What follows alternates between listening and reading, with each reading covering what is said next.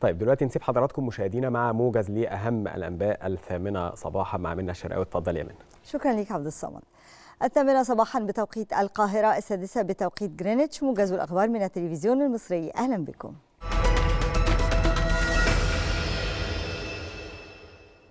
بتوجيهات من الرئيس عبد الفتاح السيسي.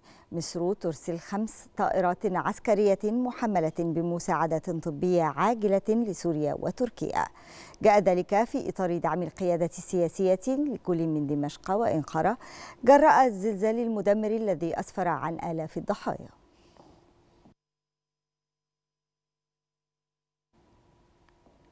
أجرى الرئيس عبد الفتاح السيسي اتصالا هاتفيا مع الرئيس التركي رجب طيب أردوغان. وصرح المتحدث الرسمي باسم رئاسة الجمهورية بأن الرئيس السيسي تقدم بالتعازي والمواساة في ضحايا الزلزال المروع الذي أسفر عن آلاف الضحايا مؤكدا تضامن مصر مع الشعب التركي الشقيق وتقديم المساعدة والإغاثة الإنسانية لتجاوز آثار هذه الكارثة.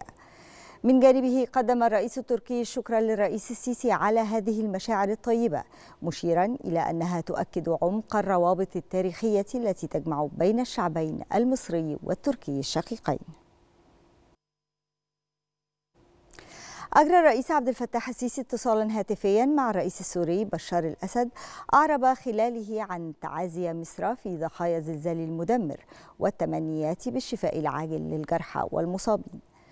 وأكد الرئيس السيسي خلال الاتصال تضامن مصر مع سوريا وشعبها الشقيق في هذا المصاب الأليم مشيرا إلى توجيهاته بتقديم كافة أوجه العون والمساعدة الإغاثية الممكنة في هذا الصدد إلى سوريا.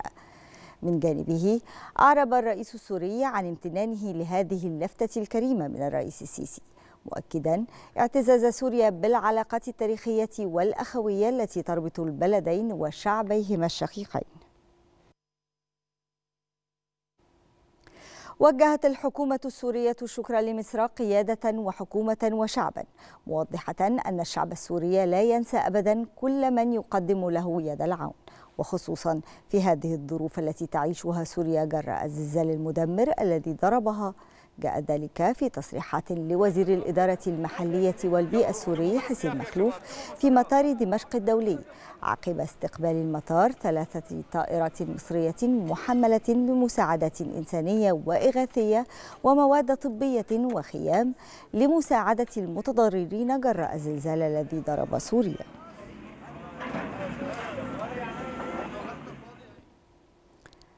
أعلنت ثلاث دول أوروبية أنها سترسل خلال الشهور المقبلة 100 دبابة ثقيلة إلى كييف لمساعدة جيشها في صد القوات الروسية والتي أكدت أن هجومها في شرق أوكرانيا يجري بنجاح.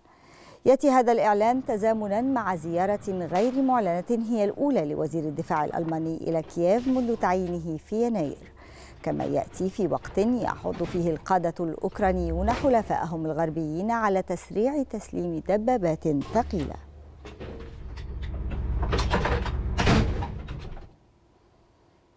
أشاد الرئيس الأمريكي جو بايدن بما قدمته إدارته خلال العامين الماضيين مؤكدا أنها استطاعت توفير 12 مليون وظيفة جديدة وخلال خطاب حالة الاتحاد السنوي الثاني له رئيسا للولايات المتحدة وصف بايدن تاريخ بلاده بأنه يمثل قصة التقدم والصمود وعدم الاستسلام.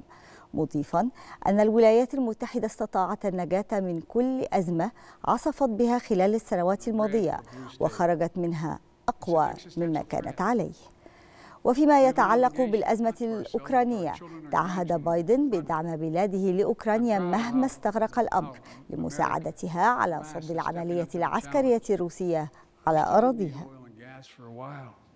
But guess what? No, we do. وافقت إدارة الرئيس الأمريكي جو بايدن على بيع راجمات صواريخ من طراز هاي مارس إلى بولندا في صفقة بقيمة عشرة مليارات دولار. وذكرت وسائل إعلام أمريكية أنه تم إخطار الكونغرس الأمريكي بالبيع المحتمل لنظام هاي مارس إلى بولندا وذلك وفقا لاختار من وزارة الخارجية الأمريكية. جاء في الإخطار أن هذه الصفقة المقترحة ستدعم أهداف السياسة الخارجية وأهداف الأمن القومي للولايات المتحدة من خلال تحسين أمن حليف في الناتو وهو ما يمثل قوة للاستقرار السياسي والتقدم الاقتصادي في أوروبا.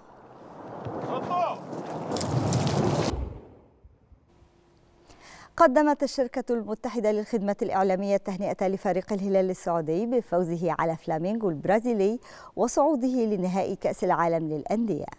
كما قدمت الشركة المتحدة التهنئة للشعب السعودي الشقيق وجماهير الكرة العربية بهذا الإنجاز. هذا وكان الهلال السعودي تغلب على فلامينغو البرازيلي بثلاثة أهداف مقابل هدفين في مباراة نصف نهائي البطولة.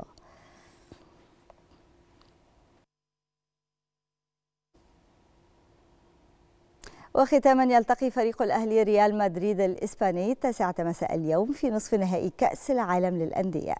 كان الأهلي تأهل إلى دور نصف النهائي من البطولة عقب الفوز على أوكلاند سيتي في الدور الأول بثلاثية نظيفة قبل أن يعود ويحقق انتصارا صعبا أمام سياتل الأمريكي بهدف سجله محمد مجدي أفشة.